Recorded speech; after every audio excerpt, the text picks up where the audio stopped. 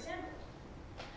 The, um, the Voight-Kampff test that Rick Deckard, played here by Harrison Ford, uh, and the other LAPD Blade Runners administer to potential replicants in Ridley's, uh, I'm sorry, in Philip K. Dick's 1968 novel, Do Androids Dream of Electric Sheep, and um, Ridley Scott's 1982 film, Blade Runner, um, is a version of the Turing test. It involves, it relies on physiological and emotional response, not written language, but both depend on dialogue, on interactions, and on story to provoke the necessary responses for the evaluator to make a decision. Um, the consequences are a little bit more extreme in this particular Turing test, but usually it's just yes, you are, no, you're not. Not um, you get destroyed as a replicant. So that's a good thing. Um, popular culture is full of characters who walk right up to the edge of humanity but can't seem to get there. Um, from HAL 9000 and Space Odyssey 2001 to Commander Data and Star Trek. So it's there's been this ongoing sort of play of what is or isn't a human. Do humans want to be robots? Do robots want to be humans? And what is that? What does that mean? Um, and outside of the world of fiction, Turing test competitions have been a thing for a good two decades now. And it really freaked people out in 2014 when a robot finally passed the Turing test, or more accurately, a robot passed a version of the Turing test. And it was a Russian-designed chatbot named Eugene in a competition at the University of Reading, Reading in the UK. And it's interesting because uh, with Turing's test, you're, you're, wondering about is it a human, is it a robot, is it a man, is it a woman? So, so gender is in question, humanity is in question. And here, um, what's interesting about Eugene is he's a very specific chatbot.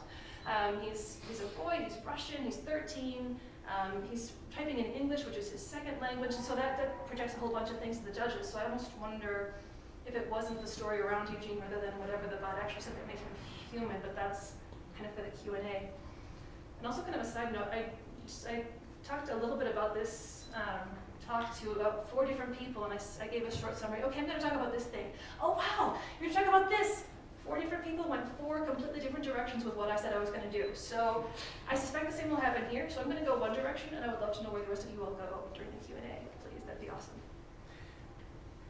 So as far as Eugene and the Turing test, the version of that he passed, I venture to say that a lot of bots have passed informal versions of that Turing test and with pretty concrete um, consequences in the years since with disturbing results, for example, in the 2016, in the lead up to the 2016 presidential election, you don't know who you're talking to, it can really shape your sort of notion of reality whether you're not talking to a human.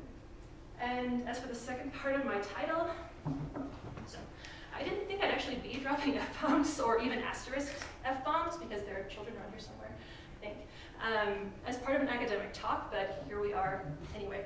So most of you probably know about this one too, but the theory I referenced in the title is from webcomic Penny Arcade, which is written by Jerry Holkins and Mike and illustrated by Mike Krahulik. Um, in more polite company, it's called the Online Disinhibition Effect. And they've been doing comics like this about three times a week since 1998, and this came out in 2004. Um, Jon Gabriel is one of the protagonists of this ongoing um, sort of series of stories in Penny Arcade. Um, it's the alter ego of um, and it's set up like a, a, math equation. You have a normal person, you have anonymity, you have an audience, and you have a drooling jerk face, or FY. um, yeah. So that's, um, so Clay Shirky is a journalist and academic who works on the social and economic impact of internet technologies and journalism. And he offers interesting, they, he was interviewed about this in The Advocate and, was, and, and reminded the interviewer and as such the audience that it's not just anonymity, it's the lack of consequences that come with the anonymity. No one knows who you are, so they can't punish you. You can't see the person, so you can't see um, their face respond and hurt. They can't yell back at you, they can't punch you. So um, not everyone succumbs to this particular effect, but it's, it's an explanation of why people seem so much angrier and, and aggressive online, or can be. Um, and let's see. So this brings me circling for the last few weeks or months now. These two situations are just about identical. You have, um, you're sitting at a computer and communicating via SMS or chat or some technological written medium, with someone or something, you, or electronic written medium with someone or something you cannot see. And in one of those situations, a robot may well be trying to convince its audience that it is human. In the other, a human enthralled to the online disinhibition effect, disinhibition effect or the GIFT, as it's um, abbreviated, um, is communicating with you as if neither of you were human, as if they had lost all sense of humanity and as if they could not see or recognize you as a human or, or feel any empathy toward the person on the other end of that computer screen or the other end of that, I would say, um, either phone line or, or internet connection. So what does it mean when the medium used to test humanity is also the one that seems to encourage otherwise normal humans to be least human or at least least humane to each other? Because I sort of realized assuming human equals humane is, is kind of an optimistic definition of human, but that's, um, I'll stick with that one for now. Um, so if we count these exchanges as, as a form of everyday storytelling, these sort of interactive storytelling uh, or conversation that takes place, and it's in conversations ranging from small talk about the weather to existential discussions of life, the universe, and everything, it's, it's the whole continuum. Uh, what is it about this particular medium that seems to bring out the most human in robots, sometimes, and the least human in the humans? I don't know exactly. I don't have the answer, but I have a few answers. And um, so, or at least the beginning of one of those answers comes in two parts. So looking at the materiality of the writing, of the medium, what the message is carried, which message is carried by this particular medium, and by the interactions and interrelations between humans and technology or humans and robots. So, oh, yes. Okay. Um, I heard what you're saying. You, you, know nothing of my work. You mean my whole fallacy is wrong. How you ever got to teach a course in anything is totally amazing.